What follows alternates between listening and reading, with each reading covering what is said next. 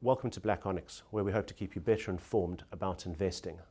We're discussing the Reitway Global long only funds with Martin Botha. Martin, thank you for joining us. Thank you, Andrew. Martin, tell us a bit about yourself and how you got into investing. I graduated from the University of Stellenbosch, where I did my BCom Investment Management degree. Two years later, while I was still busy with my part-time honours degree, a family friend put me in contact with Greg, who just started his own firm, and he wa wanted to build his team. I was really fortunate to join Reitway Global in the early stages of the company's development, seeing as this gave me exposure to different aspects of a boutique investment firm.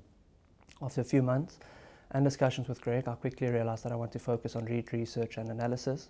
So when my journey with Reitway started in 2013, I was mainly responsible for portfolio administration and compliance, but Reitway offered me the opportunity to further my studies, so I signed up for the CFA and CIPM program in 2013.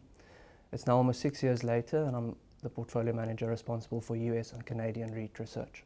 Please tell us a bit about Reitway.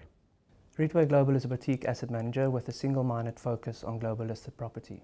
The company was formed in 2012, and our vision is to provide comparable property investment vehicles in multiple domiciles where the same investment philosophy and process is then applied to all the respective funds we manage. Our investment objective for our long-only funds is to provide investors attractive current income as well as capital growth by investing in a diversified portfolio of real estate securities.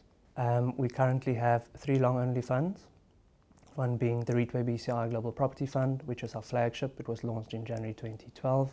It's a local collective investment scheme Later in that year, we launched the Reitway Global Property Portfolio domiciled in Malta, which investors can access in US dollars, euros or pounds.